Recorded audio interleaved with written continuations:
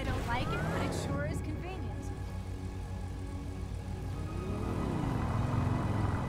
But why did you call me that? Uh, okay.